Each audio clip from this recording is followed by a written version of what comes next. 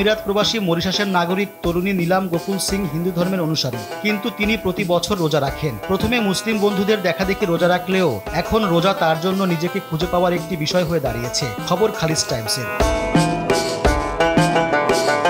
আরবি বর্ষপঞ্জির নবম মাস রমজান। মুসলিমদের জন্য এই মাস বিশেষ গুরুত্ব বহন করে। কারণ তাদের জন্য নির্ধারিত পাঁচ ফরজের একটি হচ্ছে রোজা, যেটি এ মাসেই পালন করা হয়। পবিত্র রমজান মাসে সারাদিন না খাওয়ার মাধ্যমে সংযম ও আত্মশুদ্ধির চর্চা করে থাকেন বিশ্বের কোটি কোটি মুসলিম। সৃষ্টিকর্তাকে সন্তুষ্টির এই সাধনা দেখে অনেক অমুসলিম কৌতূহলী হয়ে ওঠেন। মাসটির তাৎপর্য ও আত্মিক উৎকর্ষ অনুধাবন করে রোজা রাখেন।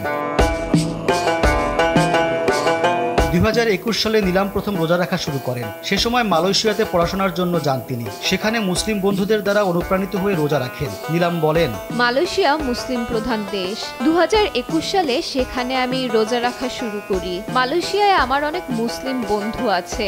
আমরা সেখানে একসঙ্গে সেহরি ও ইফতার করতাম। মূলত তাদের সংস্কৃতিকে বোঝা ও একাত্মতা প্রকাশের জন্য আমি রোজা রাখা শুরু করি। নিলাম দুই বছর আগে আমিরাতের দুবাইয়ে যান। সেখানেও রোজা রাখা অব্যাহত রাখেন। Kraken. তিনি বলেন আমি এখনও রোজা রাখি কারণ আমার আশেপাশে যারা আছে তারা সবাই রোজা রাখেন। খাদ্য ও পানি ছাড়া কাজ করা কতটা কঠিন সেটা নিলাম রোজা রেখে অনুধাবন করেছেন। সেজন্য রোজা এখন তার কাছে অন্য কিছু। যেভাবে খাবার ও পানি থেকে দূরে থেকে শৃঙ্খলা বজায় রেখে কাজ করা হয় সেটির মাধ্যমে তিনি নিজেকে নতুন করে খুঁজে পেয়েছেন। তার কথায় নির্দিষ্ট খাবার ও কর্মকাণ্ড থেকে দূরে থাকার মাধ্যমে আমি আমার নিজের অভ্যাস আকাঙ্ক্ষা ও চিন্তা সম্পর্কে জানতে পারি।